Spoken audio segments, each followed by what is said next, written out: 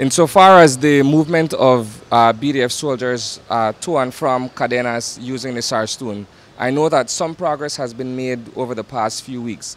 Um, was that discussed at the meeting and are there other changes to be expected going forward? Well, what has definitely been achieved so far, uh, the BDF is not being interrupted whatsoever.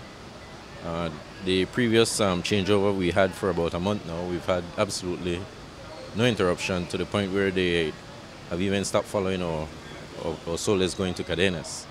So the, what we're working on now is the civilians having the same freedom and access going back and forth to Cadenas as well.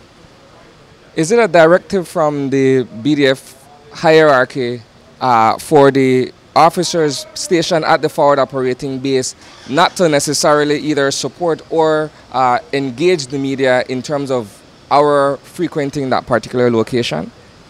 Well, not really. Um, whenever any Belizean go to, the, to that area, I would beg and ask that they go and check in at the forward operating base.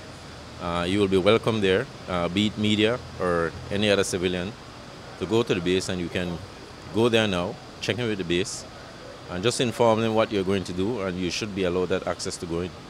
Well, it's a process, you know. You go sometimes you're stopped. There are times you go you're not stopped, and that happens We with. Been stopped. Civilians have always been stopped. No, civilians have been using that river long before you and I were born. This is a something. Listen, this thing has been there since. They're talking about It's since it's it's since 1937, the you know. It's since last years. 1937 that this has been happening, and uh, certainly since our independence, our military have been going there every single week. Civilians have been using the river for fishing and from boating, whatever it is. There are times when you have hiccups in the relationship, and government's responsibility is to try to resolve those hiccups.